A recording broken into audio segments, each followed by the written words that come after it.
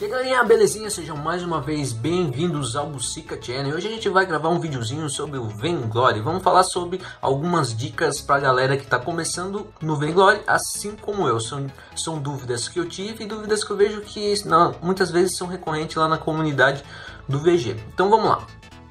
O pessoal se pergunta muito como começar no Vainglory, a galera que vem de outros MOBAs ou o pessoal que está começando agora no Vainglory como primeiro MOBA, que é o meu caso. Eu nunca joguei, nunca joguei MOBA e o primeiro MOBA que eu joguei foi o Vainglory. Para quem está começando é muito legal ler as informações dos heróis, conhecer as suas habilidades, conhecer os bônus heróicos. E essas informações estão no site do Vainglory e até mesmo no jogo. No jogo você na página de heróis você consegue clicar no herói, no herói que você mais gosta, no herói que você está em dúvida ou um herói um por um se você quiser conhecer todos os heróis do VG.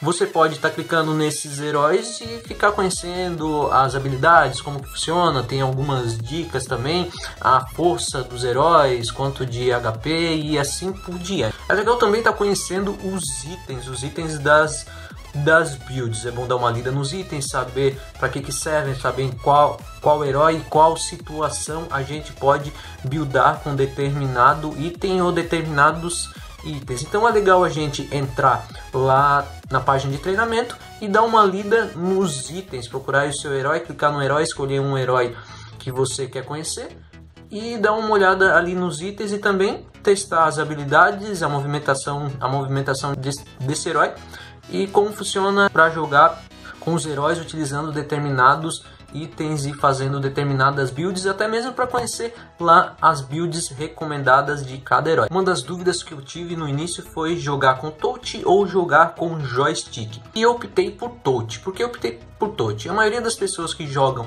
o Vainglory, se eu não me engano, jogam no touch. No touch o jogo parece ser mais fluido e é mais fácil de posicionar o herói. Já no joystick, para mim parece que o jogo fica menos fluido, fica o jogo fica fica mais travado e o herói até aparentemente fica mais lento. Mas essa é a minha opinião. Se você, se você tá em dúvida ainda, é bom dar uma testada. Mas eu acredito que é melhor jogar no touch. Eu jogaria no touch se fosse Quando comecei no Vainglory, me indicaram que eu começasse a jogar com os bots. E foi o que eu fiz. Eu comecei jogando lá no mais fácil e fui vindo até o mais difícil. E quando eu comecei a jogar com pessoas reais, com jogadores reais, cara, continua difícil, porque é muito diferente a gente jogar com bots e jogar com pessoas reais. A movimentação dos bots é, é sempre igual, eles param quando tem quando tem os minions, às vezes você tá morrendo, eles param de te atacar para atacar os minions, então é bem diferente. Os bots é bem legal pra gente aprender a conhecer os heróis e ter só uma noçãozinha do jogo, mas quando a gente vai lá jogar com jogadores reais, é bem diferente. Mas mesmo assim, eu indico que quem está começando, para não atrapalhar o jogo da galera, dá uma jogada primeiro com os bots, conhecer os heróis mais ou menos, mais por cima, dar uma treinada e depois ir lá para casual e pensar bem à frente em jogar ranqueada para também não atrapalhar o pessoal lá que está subindo ela. É muito interessante a gente também ficar por dentro dos nerfs e dos buffs dos heróis. Essa informação você pode pegar aqui no canal, que eu vou começar a postar todas as atualizações próximas do Vainglory e, e no site do Vainglory. Lá eles sempre postam os nerfs, postam os nerfs e buffs e postam os, os novos heróis que vão ser lançados no VG. Qual build eu tenho que usar? A recomendada ou uma build própria. Então, quando a gente está começando a jogar, eu recomendo, que foi recomendado para mim, eu continuo fazendo isso, ainda sou muito iniciante, estou aprendendo muita coisa ainda, tem muita coisa para melhorar, é usar a build recomendada. Vamos lá, usamos a build recomendada e vamos aprendendo a movimentação, a conhecendo os heróis e aprendendo os itens, sempre lendo os itens para aprender como se joga e principalmente olhar o pessoal que joga há mais tempo, pessoal mais experiente para aprender a movimentação, posicionamento e a forma de jogar com cada herói, porque a build é situacional.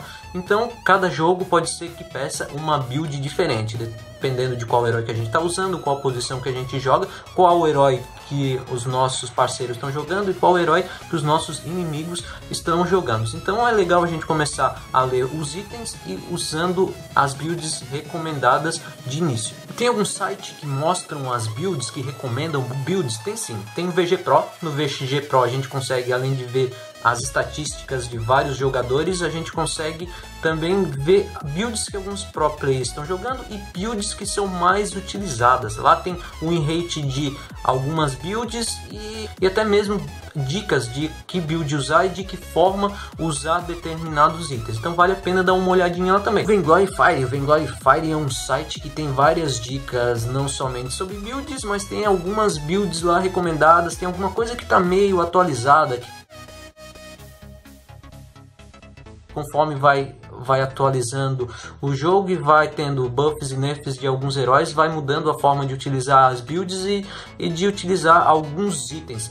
Mas vale a pena dar uma olhada no site e dar uma analisada do que tem lá, do que dá para usar ainda e do que não dá para usar. Então dê uma olhada lá e vê o que, que serve para você, para o seu estilo de jogo e para o herói que você. Então é isso aí, espero que vocês tenham gostado do vídeo. Se gostaram, deixe seu likezinho, se inscreva no canal e acione o sininho das notificações. E deixe aí no comentário dizendo o que, que vocês fizeram quando começaram no VG e o que, que vocês acham interessante de se fazer quando se começa no Venglory. Não se esqueçam de se inscrever e acionar o sininho das notificações.